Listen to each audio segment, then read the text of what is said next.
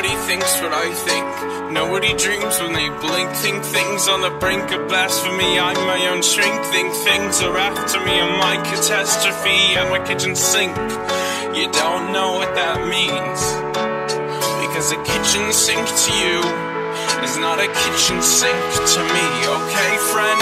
Are you searching for purpose? Then write something, yeah, it might be worthless. Then paint something, then it might be wordless. Pointless curses, nonsense verses. You'll see purpose start to surface. No one else is dealing with your demons, meaning maybe defeating them could be the beginning of your meaning, friend.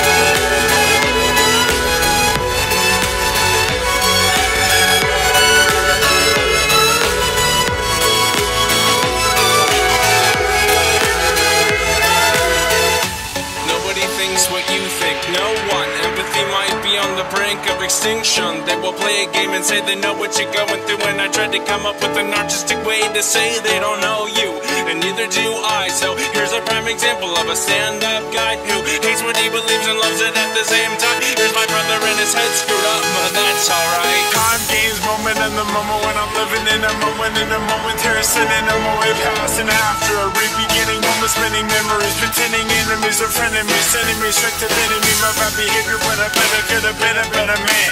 Copy and paste caught me a copy. Better rise bother me.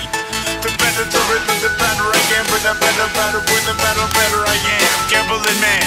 Better better I am a gambling man. I am